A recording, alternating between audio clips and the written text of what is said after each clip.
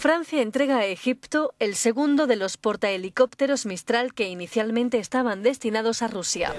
La bandera egipcia fue izada durante la ceremonia en el puerto galo de San Nasser.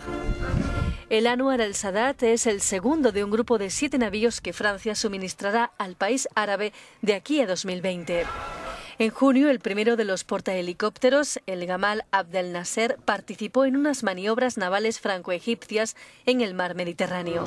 La compra por parte de Egipto, por un valor de 950 millones de euros, pone fin a un contencioso entre Francia y Rusia.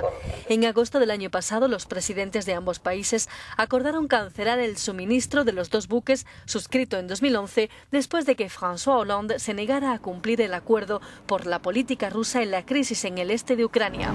Para el traspaso de los Mistral a Egipto, la compañía CDNS ha tenido que desmontar los sistemas de comunicación rusos y reemplazarlos por nuevos equipamientos.